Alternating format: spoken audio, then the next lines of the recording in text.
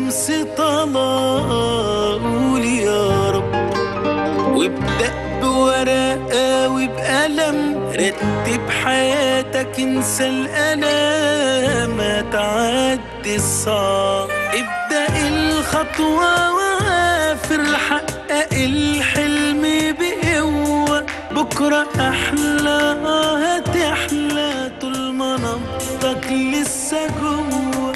بسم الله الرحمن الرحيم برحب بحضراتكم. مش هقول أيام ونستقبل شهر رمضان المبارك ولكن هقول ساعات قليلة جدا ونستقبل الشهر الكريم.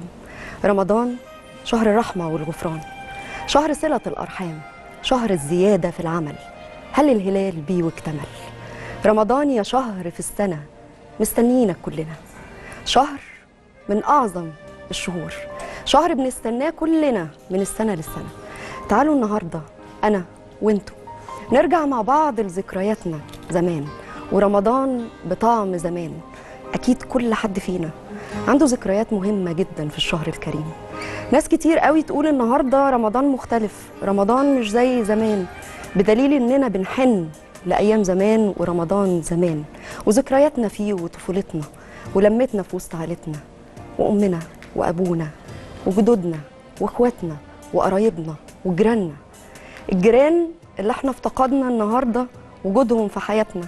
زمان كنا تقريبا كلنا عايشين جوه بيوت بعض بناكل مع بعض. ولو عملنا حاجة حلوة نطلع لجارتنا اللي فوقينا. وجارتنا لما تعمل حاجة حلوة تنزل لنا. وكأننا عيلة واحدة بالظبط. بنجتمع كلنا عشان نتفرج على حاجة واحدة على شاشة التلفزيون. ارتبطنا بدراما تلفزيونية مهمة جدا شكلت حاجات كتير جدا في حياتنا وفي سلوكياتنا. لو اتكلمنا نتكلم عن الليالي الحلمية ولا عن المال والبنون ولا عن أرابيسك ولا عن حاجات كتير قوي مش عايزة أنسى لأنها كلها أعمال مهمة. إذا كانت حتى كمان رأفت الهجان وفوازير رمضان وألف ليلة وليلة وأهم شخصيتين ارتبطنا بيهم كلنا صغيرين وكبار. شكلوا حاجات مهمة جدا وقيم ومبادئ. في شخصية الطفل المصري. وكمان الكبير اتأثر بيهم. كلنا كبار وصغيرين نستنى بعد أذان المغرب نشوف أهم شخصيتين. نبتسم كلنا لما نشوفهم. ضيوفي النهارده في الاستوديو. أول ما شفتهم اتجننت وبقيت أتنطط وأنا واقفة أول ما شالوا الكفر بتاعهم. أنا معايا بوجي وطمطم.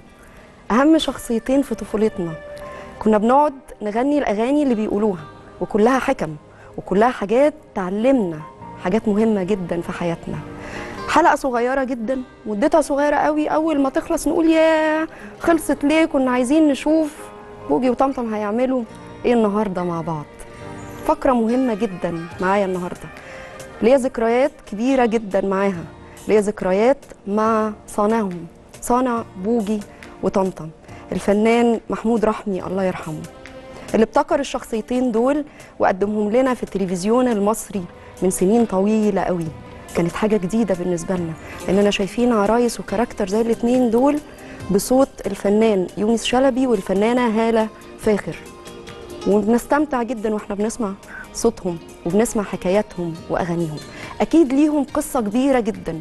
إزاي طلعوا الشخصيتين دول للنور إزاي إحنا ارتبطنا بيهم جدا قلوبنا اتعلقت بيهم لحد النهاردة لما نشوفهم نبقى فرحانين قوي وكأننا بنشوف شريط ذكرياتنا. هيشرفني النهارده وهينورني في الاستوديو الحاجة فوقية خفاجي زوجة الراحل محمود رحمي. هنتكلم في تفاصيل كتير قوي ذكرياتنا كلها هنقولها إن شاء الله النهارده.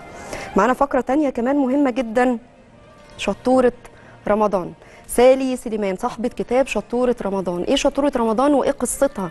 وإزاي يتحول من جروب على الفيسبوك لكتاب بقى موجود دلوقتي كل السيدات تقريبا معاها الكتاب ده عشان يعرفوا إزاي يوفقوا بين عبادتهم في شهر رمضان وبين احتياجات البيت والزوج والشغل. فقرة مهمة جدا هتهم كل ست بتتفرج علينا النهاردة. معانا حاجات كتير جدا مهمة النهاردة خاصة بشهر رمضان. معانا كمان تقرير مهم جدا خلونا نروح نشوفه ونرجع لحضراتكم مرة تانية.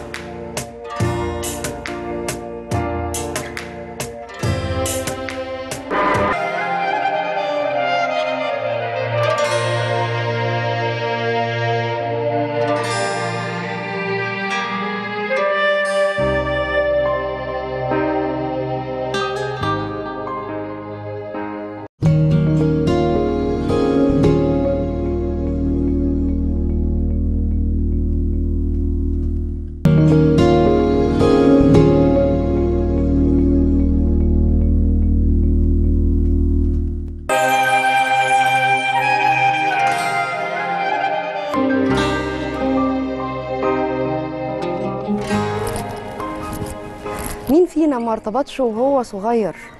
ببوجي وطمطم مين فينا ما ارتبطش وهو صغير بصوت الفنان القدير يونس شلبي الله يرحمه والفنانة الجميلة هالة فاخر. بوجي وطمطم مين فينا ما ترباش على نصايح عم شكشك. مسلسل العرايس الراقي اللي لسه فاكرينه لحد النهارده. صاحب فضل كبير جدا كان المخرج رحمي. أو المخرج محمود رحمي اللي طلع طلع للناس بهدية جميلة جدا للكبار قبل الصغيرين سنة 83 وعلمنا طعم جديد اتربينا عليه كلنا. النهارده كان لازم نتكلم عن بصمة مهمة جدا خلال شهر رمضان وذكرياتنا وطفولتنا ورمضان بطعم زمان. النهارده بيشرفني في الاستوديو مش ضيفة واحدة ولكن ضيوف كتير زي ما حضراتكم شايفين ولكن رأس الموضوع والشخصية المهمة جدا اللي هتكلمنا عن إزاي العرايس دي تواجدت في حياتنا وإزاي قدروا يأثروا جوه وجدان كل شخص فينا. الحاجة فوقية خفاجي زوجة المخرج الراحل محمود رحمي. كل سنة وحضرتك بألف خير. ميرسي يا حبيبتي كل سنة. طيبة. انت اللي منورة يا لميا والله فكرتينا بكل أيام جميلة وأيام الشغل ال- اللي كنا بنبات في التلفزيون عشان نعمل الشغل ده للطفل المصري. عايز أعرف كنتوا بتباتوا في التلفزيون إزاي؟ الناس آه، آه، كانت بتتفرج على عشر دقايق على ربع ساعة على نص ساعة والربع ساعة والنص ساعة والعشر دقايق دول بياخدوا والعشر دقايق يمكن تاخد يوم كامل.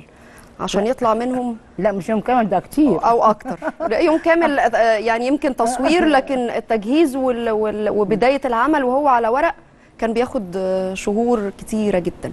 قبل ما نتكلم عن بوجي وطمطم عايزه أتكلم عن علاقة حضرتك بالفنان محمود رحمي. اتقابلتوا إزاي؟ عرفتيه إزاي؟ سألتك وإحنا جوه قلت لك آه، طنط فوقية حضرتك لسه لابسة أسود لحد النهارده؟ قلت لي مش قادرة. لا طبعا آه عشان هو هو خسارة كبيرة فعلا هذا الفنان المبدع يعني الفنان رحمي قبل ما أنا أعرفه هو كان فنان يعني اسمه واصل عمل إبداعات جميلة جدا من أول التلفزيون ما فتح مم. كان هو في نحات في فنون جميلة ترك الفن التشكيلي واختار عشان حاجة واحدة إن هو لا الفن التشكيلي مهتمين به مهتمين بس فقط بالفن التشكيلي مم. فهو فنان موهوب مبدع عنده رسالة معينة اختار فن صعب. إن هو إزاي يبني وجدان طفل. وده حاجة من أصعب ما أصعب يمكن إنك تخاطبي. الطفل عقلية الطفل. موضوع مش سهل أبدا. ما هو كان أما يشوف الرسوم الغربية اللي هي كانت موجودة ساعتها كان بيقول لي زي إحنا فنانين وإحنا أساس التشكيل ما عندناش عروستنا وما عندناش شخصيتنا. صحيح. فاشتغل طول عمره سنين طويلة جدا عشان يوصل للشخصية المصرية. اشتغل من أول التل... من سنة 61 مم. في التلفزيون وعنده حاجة واحدة إن هو يبدع شخصية للطفل المصري. مم. ما يحسش إن الطفل المصري إن هو أقل من أي طفل في يبقى العالم. في شخصية مبتكرة. بتاعت بتاعت الطفل المصري. هو فنان عنده رسالة للطفل بيختار فن الطفل إن هو يبني وجدان طفل. اختار فن العرايس بالذات ان هو الطفل بيحب العروسة طبعا فهو وصل لغاية هنتكلم عن بوجو طمطم بالذات آه. بعد سنين طويلة من الإبداع ومن الفكر ومن الابتكار وصل لبوجو طمطم. حضرتك قابلتيه إزاي؟ أنا قابلته في أواخر السبعينات. أنا خريج فنون جميلة زيه قسم نحت. فبعد ما خدت البكالوريوس فأنا جيت التلفزيون اشتغلت في العرايس شفت هذا الفنان. فنان مبدع فنان ذكي فنان جميل. شغله كله بيعمله بإخلاص شديد بحب شديد. فهو لما وصل لبوجو طمطم عشان بس رمضان عشان دي حالة من حالات رمضان. طبعا. وملمح من زي ما شغل بابا الله يرحمه, الله يرحمه. كان ملمح من ملامح رمضان الفوازير. بعد الحاج فهمي يعني الحاج فهمي اشتغل للتلفزيون بملاليم وعمل إبداع بملايين. فبعديه كل التكنولوجيا موجودة وكل الخامات موجودة ما حدش عارف يعمل الفوازير شغل الحاج فهمي. الله يرحمه. فكان دي ملمح.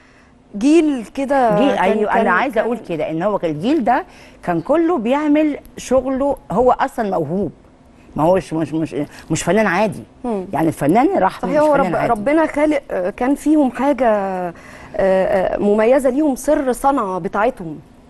يعني يعني الفنان رحمي مش عادي الله يرحمه. الحاج فهمي مش عادي الحاج الأستاذ صلاح جاهين مش عادي طبعاً. فكل العناصر الجيدة طبعاً. دي لما تجتمع في شغل هيبقى عبقري صح. فالعبقرية دي واصلة لغاية دلوقتي يعني شغل الفنان رحمي واصل للطفل المصري لغاية دلوقتي صحيح. بعد رحيله ب 16 سنة رمضان يجي رمضان موجو طمطم. وكان ساعات أما كنت هو يعني بيعمل بوجو طمطم وسنة كانت مثلا تعبان ما كانش يعملها يقول بوجو يعني رمضان رمضان ما جاش. بوجو طمطم رمضان ما جاش. فهو نجح وكان سعيد جدا جدا لما عمل اللي هو الرسالة اللي كان عايز يعملها إن هو يوصل للشخصية المصرية. وصلت في بوجو طمطم عملها بطريقة جميلة جدا جدا فنان مبدع عنده خليني خيال. خليني أقول آه، أول يعني أول ابتكار الشخصيات يعني هم إحنا شايفين طماطم و- و- وعم شفشق ويعني كل عم الشخصيات. شكشك. شكشك. آه كل كل. الحاجات اللي اللي, جميل. اللي موجودة اللي كانت في بوجي وطمطم ولكن أول شخصيتين هو بدأ في كان- أول 83 بدأ حاجة اسمها سلوكيات. مم. سلوكيات يعني طمطم آه، بوجو يعمل حاجة غلط كانت خمس دقائق وطمطم تصلح له. كان هو بوجو طمطم وزيكا وزيكو. بدأ بأربع شخصيات. الشخصيات رسمهم على الورق الأول. ما لا يعني أنا بتكلم على إن خلاص وصلوا للشاشة. آه. ست- يعني هي الأول الشخصية بتطلع إزاي؟ لا أنا بتكلم على إنه الفكرة الفكرة له الشخصية إزاي؟ آه ما هو بقول لك من سنين طويلة قوي بيبدع شخصيات عايز يوصل للشخصية المصرية بيبدأ الشخصية بتبقى في دماغه بيرسمها على ورق أنا بالنسبة لي الاستاذ حضرتك اللي نفذتي. أنا نفذت معاه وأنا آه. كان شرف كبير قوي قوي إن أنا أشتغل مع هذا الفنان المبدع العبقري الجميل الذكي إن أنا أعمل له شغله فأنا ده أنا وإحنا داخلين وإحنا داخلين ال- البلاتو بيقولوا لي آه، حاجة فوقيه خايفة عليهم جدا. وقلقانة عليهم قوي وجابت كرسي وقعدت جنبهم وكأنها بتتعامل مع شخصيات حقيقية. فأنا قلت لهم ال- ال- اللي زينا وإحنا اتربينا يعني في, بيوت فيها ابتكار وفيها فكر وفيها فن. الشخصية اللي بتتعامل بالإيد والبني آدم بيشكلها بإيديه لا، غير كده. جزء كبير جدا من كيانه ومن تكوينه غير كده دورها. عملت إيه آه. في الشعب؟ عملت إيه في. الطفل المصري؟ عملت إيه؟ لغاية دلوقتي الطفل المصري متربي على بوجو طمطم. كل القيم اللي عايز يقولها الفنان رحمي للطفل المصري عملها من خلال بوجو طمطم كل سنة كان يزود الشخصية. كل سنة كنا بنتعلم. حاجات جديدة. كل سنة موضوع جديد مختلف. كان يطور الدراما كان يزود الشخصية كان يدخل مثلا جرافيك. حسب احتياجات ال- ال- الشغل. كان كلها رحمي. مشكلة بوجو طمطم إن هي كلها رحمي. كلها ب- من أول. فكرة آه العروسة. لتنفيذها للكتابة ليها. مم. الدور هتقوله. كمان. ما تألي- الكتابة الدور اللي هتقول. يعني هو بالشخصية بيفكر فيها وبيقول لها الدور اللي هتقول إيه. إيه رسالتها؟ إيه طبيعتها؟ يعني كان كلها لغاية الإخراج. فكان كل الموضوع ده رحمي. فهو وصل للطفل المصري اللي عايز يعرفه من خلال الشخصيات دي كل ما هو مصري أصيل. حتى الشخصية المصرية وبيقول أنا كنت باخد منين؟ ما باخد من اللي حواليا. يعني هو ما أول انطباع جاله في أول حلقة من بوجي وطمطم في أول سنة في رمضان. سعيد كان سعادة. كان انطباع الناس إيه؟ الانطباع الس- ما بقول لك يا حبيب قلبي لما هي بوجو طمطم وصلت أول سنة للبيوت المصرية ارتبطوا بيها حبوها في الخمس دقائق دي قالوا لا عايزين نزود شوية فزودوا المدة أكتر بعد 10 دقائق بقى قد إيه سعيد إن هو وصل اللي هو عايزه يعني قعد سنين عمره يشتغل لما يعمل الشخصية المصرية بقت عملها خلاص. بقت موجودة بقت في مصر. عمل الشخصية الوطنية للطفل المصري. هو عمل ابوجو طمطم وقد إيه كان سعيد جدا جدا إن هو وصل للشخصية اللي هو كان بيحلم يعملها لمصر. فهو عمل لمصر حاجة مهمة جدا إن خلى الطفل المصري ما يحسش إن هو أقل من أي طفل. عنده عروسته عنده حاجته. قدم له كل لحد النهارده بوجي وطمطم بيتعاملوا عرايس وشنط مدارس و... و... وعلى الأقلام وعلى ال- الكراريس عشان والكشاكيل. بيحبوهم آه عشان طبعا. عشان هو هو هم ليه اتحبوا بوجو طمطم هو خدهم من الناس اللي من الشخصيات اللي الناس تحبها. عمل بوجو ده قرد وطمطم أرنبة. وانت بتشوفهم في التلفزيون أو في بيتهم تحس إن هي بنت وولد عشان أيوة. مع بعض. بس دي ده شغل بقى الفنان المتميز أو فنان الأطفال اللي عنده قدرة على الخيال إن إزاي الطفل لا هي دراسة. هو هو درس إيه؟ اللي يقدر هو مثقف طبعاً، ياخد آه طبعا ياخد عقلية يكون- الطفل ويخلي الطفل ينتبه ويسمع وينفذ الكلام وفكرة. إنه ياخد حكمة أو ياخد آه، آه، آه، تربية معينة أو سلوك معين من حد هو بيحبه أيوة. وشايفه يعني إحنا بنقعد نقول الأصحاب بيسمعوا كلام بعض عشان هم جيل واحد ودماغهم واحدة فإنه ينزل لعقلية الطفل ويخاطبهم بنفس اللغة بتاعتهم عن طريق عروستين أكيد الموضوع ما بيبقاش سهل لا طبعا هو العمل الأطفال صعب. هو مش بينزل للطفل لا هو بيرتقي بالطفل. مم. يعني هو كفكر وثقافة وفن ومبدع هو بيرتقي بالطفل المصري. بيقدم له كل ما هو مصري. يعني لما يقرأ كتاب شخصية مصر العبقري دكتور جمال حمدان يعمل مسلسل حبيبتي اسمها مصر. مم. يعرف الطفل المصري كل ما هو جميل في مصر. وصورنا في في في, في الأقصر وفي معبد الكرنك ومعبد الأقصر وصورنا في كل الآثار المصرية عرف كل الطفل المصري كل ما هو جميل في بلده. لما ي... لما يكون في سنة من السنين يخلي الطفل النوبي في في التتر يقول القسم. بتاع أنا لا ألوث ماء النهر أنا لا ألوث ماء النيل. يخلي الطفل يحب نيله. النيل, أيوة النيل. ده شريان الحياة. فكل حاجته الفنان رحمي إن هو بيرتقي بالطفل المصري. هو عمل حالة من البهجة عامل حالة من الرقي عامل حاله الفن ده في مصر ما كانش مهم قوي كان الأراجوز. هذا الفنان عمل هذا الفن بالجمال وبالرسالة وبالإبداع اللي ما حصلش اللي لغاية دلوقتي الأسرة المصرية. الأم تحب طبعا. وما تبقاش قلقانة إنها تقعد أنا ولادها يتفرجوا عشان هي عارفة انه هيسمعوا حاجة محترمة. رسالة محترمة طبعا. ورسالة مهمة ورسالة تخل... بتخلي الوجدان الطفل حاجة راقية جدا. حاجة ف- فوقية ال- ال- الفنانين واللي بيبقوا شاربين الفن قوي. ليهم طقوس معينة داخل بيوتهم. يعني هتلاقيهم أكيد ليه ركن ده ركن الابتكار بالنسبة له. اللي هو لما يبقى قاعد فيه محدش يقرب له ولا حد يجي جنبه عشان هو في حالة كده مع نفسه.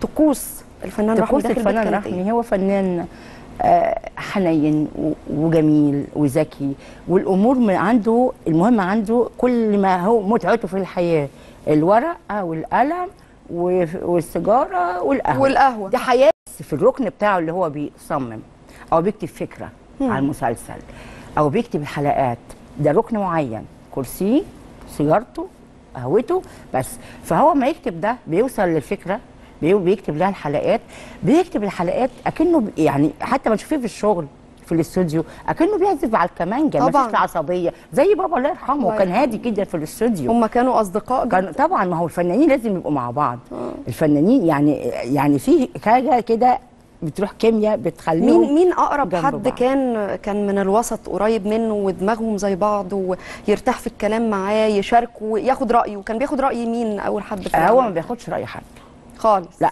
هو هو ولا رأيك؟ ولا رأيي. هو إحنا بنعمله اللي هو عايزه. نفذه بس إحنا ب... إحنا بن... في شغل الفنان رحمي اللي, اللي هو عايزه بنعمله له لكن أنا كان هو لكن هي حاجة مهمة قوي قوي عايزه أقولها إن هو الأستاذ صلاح جاهين هذا العبقري طبعا. الجميل لما يقتنع بشغل رحمي دي حاجة كبيرة قوي.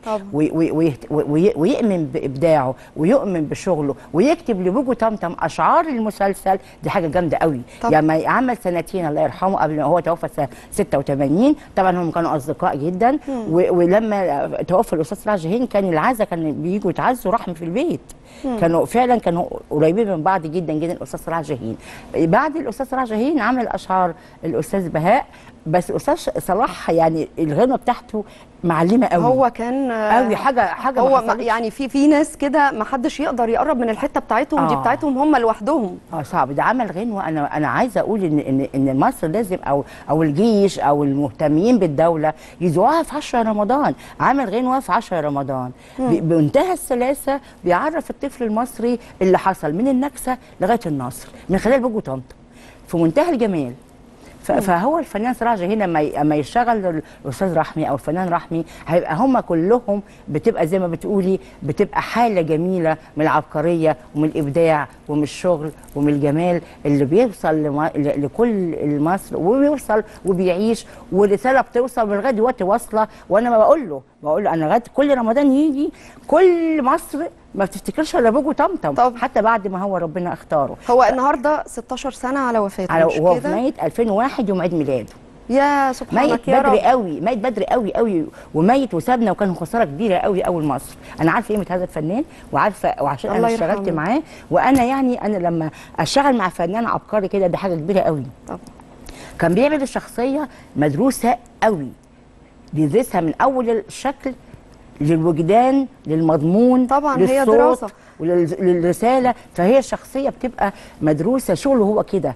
بيعمل حاجات جميلة. بيتقن في شغل في شغله أو. في عمله في عمله بعد 16 بإخلاص. سنة ومرور 16 سنة على وفاته. ومفيش مش حضرتك تقولي له إيه النهارده قبل ما نختم فقره أنا بقول له يعني لميا بنت حبيبك الحاج فهمي كنت على طول مع بعض. هي النهارده فكرتنا بيك وفكرتنا بال- بالشغل باباها والناس الف... الناس اللي هي مش هتتعوض تاني. وأنا بقول يا رب يكون مصر ولادة ويجي فنانين زي الجمال دول اللي أمتعوا مصر وعملوا يعني الحاج فهمي لما يعمل شغل جميل جدا من ما فيش. إحنا كنا الله بنشتغل بخامات آه، آه، يعني ما. فيش، من ما فيش، صحيح، صحيح. فهو إيه هو المهم ال- ال- الموهبة اللي ربنا بيديها في الفنان. والإبداع بتاع الفنان فأنا بقول له أنت رسالتك وصلت يا أستاذ ويا يا يا, يا جميل يا يا يا مخلص رسالتك وصلت لكل البيت المصرية أنت عملت لها بهجة عملت لها رقي لغاية دلوقتي شغلك هو اللي باقي صحيح. ويجي رمضان مفيش إلا بوجي وطمطم. ونتكلم عن بوجي وطمطم. وعن الفنان رحمي صحيح. فأنا بقول له يكون في ميزان حسناتك وربنا يرحمك يا ربنا يرحمه يا رب و- و- ويجعله في ميزان وربنا حسناته زي ما يعني ادانا بهجة وفرحة بنفتكرها كل شهر رمضان ببوجي وطمطم حضرتك نورتيني أنا أنا عاوز أقول لك كلمة كمان اتفضل. إن أنا دلوقتي يا فنان أنت قلت لي كلمة قبل ما قبل رحيلك إن حدش هيحافظ على حاجتي الا انت. وانتي محافظة عليها قوي. محافظة عليها جدا. صح. محافظة على كل line انت خط... انت خطيته في الورقة. محافظة على كل شخصياتك. محافظة على الدور بتاعهم. أنا مش هعمل بوجو طمطم إلا لما تبقى صح جدا. من أول الله. كل العناصر الفنية الجيدة اللي تعمل بوجو طمطم بطريقتك انت وبرسالتك وبإبداعك هترجع بوجو طمطم في رمضان. لكن غير كده مش هتتعمل. ما فيش حد بيعرف يعمل الحاجة حاجة فوق غير صاحبها. ما هو صحيح ما أنا عايزة بقى يكون يكون ربنا يكرمنا إن يكون في كاتب جيد مخرج. كويس. كل العناصر تبقى جيدة ويكملوا المسيرة ويك... الله. وأنا بقى دوري إن أنا أطلع شغلك للطفل وأكمل رسالتك عشان حرام جدا وأنا زعلانة جدا إن عندنا ده بعد انت ما عملته في خلال 40 سنة وصلت الشخصية المصرية للطفل المصري وتبقى مركونة. والله أنا شخصيا النهارده الحلقة دي بالنسبة لي هي حالة خاصة جدا وأنا قاعدة آه، في وسط أبطال بوجي وطمطم. ما هو ده يزعلنا إن إحنا الحاجات دي مركونة وعايزين تطلع للشاشة. يعني هو كان عايز يعمل شغله عشان ملايين يشوفوه في الشاشة. فلازم يطلع للشاشه إن شاء الله. بكل الجيدة. نورتيني وكل سنة. وحضرتك بألف كل سنه وانت. طيبه وأنا. سعيدة إني شفتك ده والله ده أنا اللي سعيدة وشرف كبير ليا. وكل سنة وكل البيوت المصرية بخير. وأنا سعيدة إن كل البيوت المصرية فاكرة شغل رحمي. طبعاً. وكل البيوت المصرية مركزة مع رحمي عشان هو حبكم وحابب بلده وعمل لكم الله يرحمه. الله يرحمه. بشكر حضرتك. جدا. ميرسي خلونا نروح مع بعض التعظيم. سلام. ونرجع ونبدأ تاني فقرة معانا النهارده.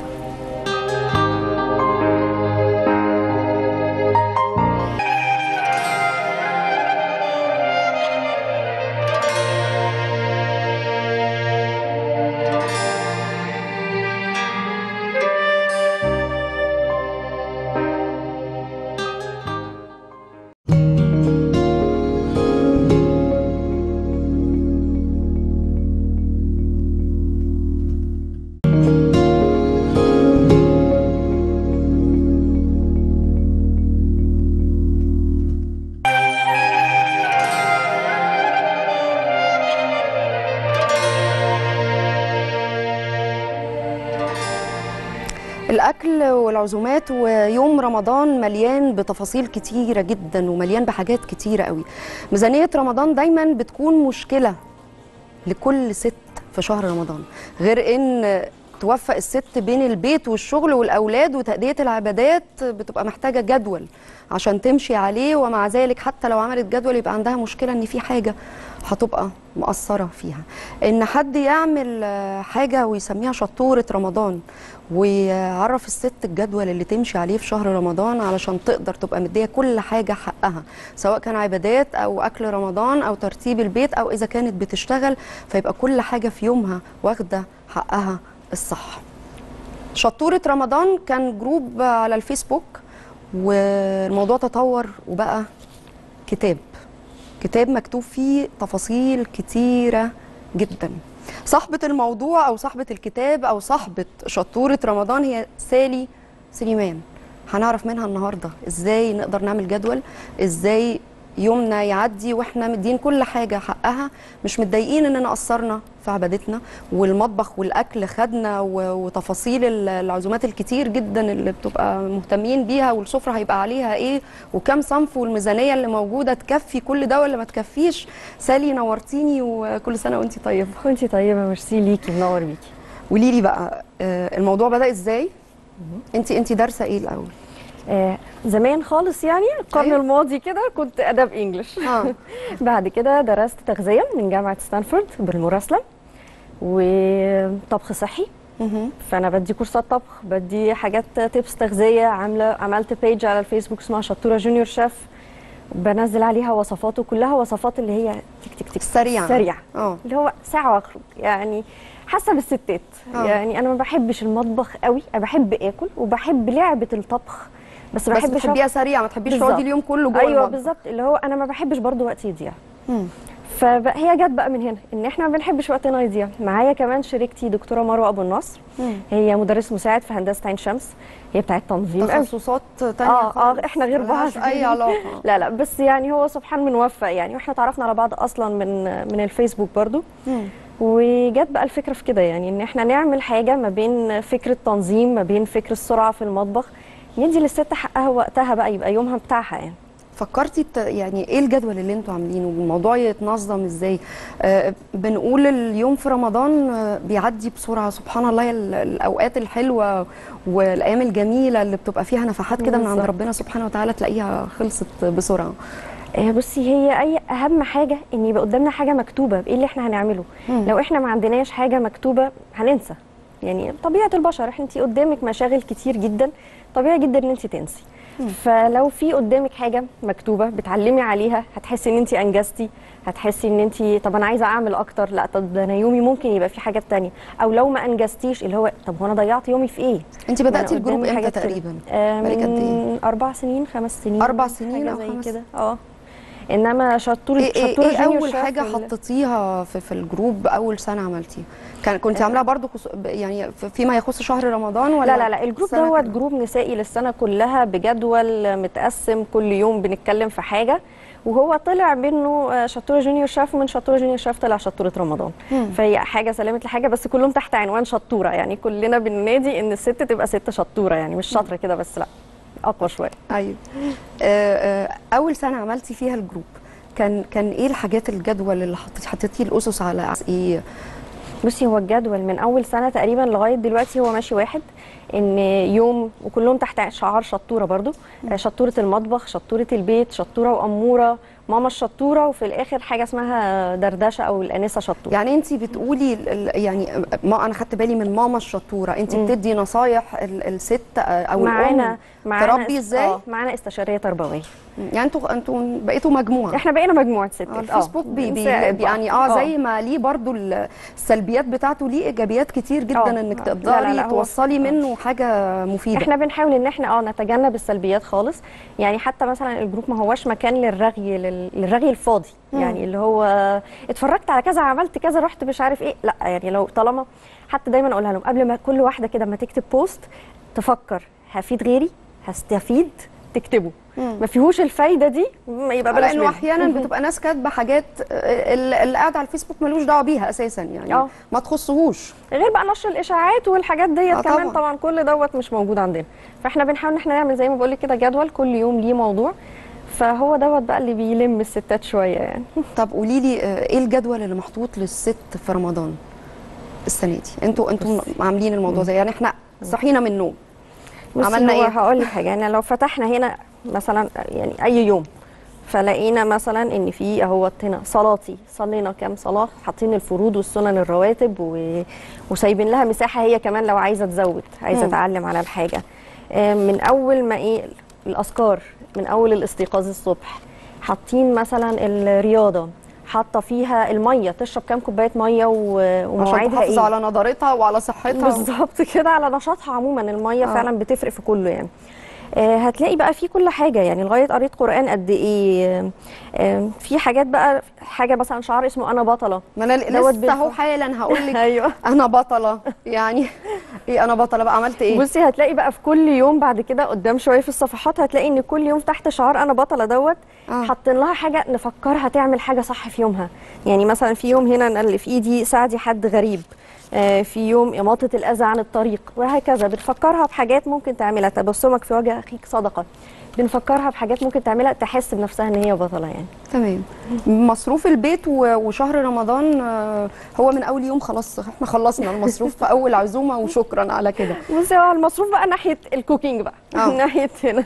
هتلاقي إن في الأول خالص حاطة حاجات للميزانية يعني من ضمن النصايح بتاعة الميزانية اللي هو نبقى كاتبين الحاجة قبل ما نروح نشتريها. مم. لو انت مش كاتبة list كده ورحتي تعملي shopping كده هتلاقي نفسك جبتي حاجات كتير بتشتري كل. الحاجة اللي موجودة. بالظبط كده. نركز في العروض. مش كل العروض بيتنا محتاجها. آه هو عرضه حلو وكويس وكل حاجة بس هل أنا محتاج محتاجاه ولا لأ؟ إحنا بنجيب عشان لما نحتاج. آه يعني ما دام العرض. موجود يبقى كويس قوي فاحنا نجيب ونخلي. وتلاقي الحاجة كملت معاكي رمضان اللي بعده. أيوة يعني. مش هينفع. فلازم نفكر في حاجة زي كده. آه ما نروحش وإحنا جعانين. مم. بتفرق قوي. لأن لو رحت وإحنا جعانة بتبقي عايزة آه ده حلو وده حلو وده حلو. بالظبط كده. كلامها مهم جدا. لأنه عيب فينا و- كلنا تقريبا إنه فكرة إن انت رايحة ما انتش عارفة انت هتجيبي إيه. وفكرة إنه البيت يبقى فيه خزين كتير فإحنا نجيب علشان يبقى الحاجة موجودة عندنا. وفي النهاية يا الحاجة بتبوظ وبتترمي يا الحاجة آه بنديها بنلاقي الشكوى بتاعت مش. عارف إيه كرف مش عارف إيه باظ إيه سوس. طب وليه جبتيه بزيادة يعني؟ آه يمكن أنا ساعدت الستات في الموضوع دوت إن أنا عملت هنا في الآخر منيو منيو كاملة. فالمنيو ديت هتساعدنا شوية إزاي نكتب ال list بتاعتنا يعني إزاي نكتب لستة ال shopping يعني مم. فحاجة تانية كمان عينينا بتروح على حاجات كتير فعلا حاجات حلوة في السوبر ماركت مثلا أو إحنا بنعمل أي shopping آه، لو هي الحاجة دي مش موجودة في القائمة بتاعة الحاجات المشتريات اللي إحنا كاتبينها ومحضرينها على أساس احتياجاتنا أنا شايفة إن أنا عايزاها طب اصورها وأروح البيت اقعد استنى يومين ثلاثة هل أنا فعلا محتاجاها ولا أنا عندي رغبة فيها؟ انت تقصدي هنا ان هي بتقوم نفسها في شيء معين؟ آه الفرق بين الحاجة والرغبة. مم. لأن فعلا في فرق كبير بينهم جدا يعني. أنا قاعدة أنا أرغب في الشيء دوت بس أنا مش محتاجاه. خلي مم. بالك مش لازم كل حاجة ترغبي فيها تبندي إيدك صح وتسحبيها صح. طب آه. قولي لي أنتوا يعني أنا عرفت إن انت عاملة حبة أكلات كده لرمضان سريعة. وحاجات الست البيت تقدر تعملها خاصة لو واحدة بتشتغل بقى طبعا بالظبط كده زي إيه بقى آه بصي حاجات كلها جديدة. يعني أنا مثلا دايما أقول للناس الفراخ الفيليه ديت بطلة المطبخ. نعرف نطلع ده منها كلنا أسهل حاجة عندنا آه، بالظبط. بانيه النهارده. آه، بصي لا غير بقى البانيه. يعني أنا مش حاطة ولا وصفة بانيه مثلا. مم. إنما نقدر نعمل منها تر... يعني زي ما بقول لهم كده 18 وصفة. يا جماعة هتطلعوا من الفراخ الفيليه ديت حاجات كتير. والفراخ البانيه غير الفراخ الفيليه. الفراخ مم. البانيه دي دي الأكلة دي الطبخة. آه. الفيليه دي القطعية اللي إحنا هنعمل بيها بقى حاجات كتير. آه في حاجة كمان إن أنا عاملة مثلا أربع أيام دول أكلات. يعني دول أكلات جداد كل يوم بنجدد. هنيجي اليوم الخامس ما إحنا عندنا بواقي من الأربع أيام دول. فنستغل البواقي دي بإننا. نطلع منها أكلة. بالظبط. نبتكر ابتكارة جديدة خالص فعاملة وصفة جديدة من وحي الوصفات بتاعة الأيام اللي قبلها. اليوم اللي بعده عاملاه أرداحي خالص. ما هو إحنا مش لازم إن إحنا كل يوم يبقى فيه لحوم وفراخ. وعامله أربع عزومات. العزومات ديت أنا عارفة هو أربعة مفيش ست هتقوم بأربع عزومات بس على الأقل ممكن تنقي يعني تاخد من دي على دي وتعمل الحاجة اللي هي تقدر تناسبها. حتى كمان برضو نصايح للعزومات. العزومة نحضر لها من قبلها بشوية يعني ما تقوميش الصبح وتهلكي نفسك في العزومة تلاقي نفسك مش قادرة تقعدي مع حد من ضيوفك. طبعا وقت ما خلاص العزومة جت هي خلاص مش قادرة تعمل أي بالظبط حاجة. ومش طايقاكوا أصلا يعني أيوه. أنتوا جيتوا ليه؟ أنا تعبت. قال لكم تيجوا. أنا تعبت لو ما اكلتوش الأكل دوت هزعل منكم دلوقتي يعني. لا وتقول لهم أنا تعبانة في الأكل ده كله فالاكل ده كله لازم يخلص. لا لا. ومشكلة برضو عندنا إن إحنا بنعمل في العزومات أكل كتير جدا. لا هو على برضه في العزومات آه، يعني بقول لازم أول حاجة. نحدد العدد ونبقى عارفين هم يعني إحنا عارفينهم إحنا عارفين اللي جايين بيتنا يا أيوة. جماعة نبقى عارفين بياكلوا قد إيه؟ آه. وبيحبوا إيه. فنعمل اللي بيحبوه. ما نقعدش برضه نعمل حاجات بعيدة عن ذوقهم.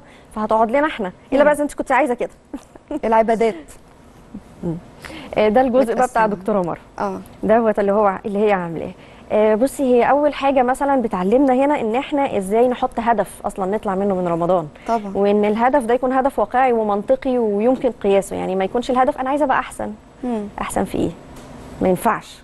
إنما مثلا لو قلتي أنا عايزة أختم مثلا القرآن مرتين عايزة أطلع صدقة كل يوم فنقول حاجات نقدر نحطها أهداف فعلا تقدر نقيسها ونقدر إن إحنا نطبقها على نفسنا وعلى شخصيتنا ونقدر إن إحنا آخر الشهر نقيم إحنا عملناها ولا ما عملناهاش وطلعنا من الشهر ده بإيه بالظبط. هل إحنا طلعنا آه، آه، من الاختبار ده آه، ناجحين جدا فيه وعاملين اللي علينا ومذاكرين كويس وقدمنا اللي ربنا سبحانه وتعالى طالبه مننا ولا إحنا طالعين نص ونص وربنا يعيننا بقى على بقية السنة. يا رب. سالي سليمان نورتيني كل سنة وإنتي ليكي. بألف خير رمضان طيبة. كريم. ميرسي الله أكرم. بشكرك ميرسي، جدا. شكرا ليك.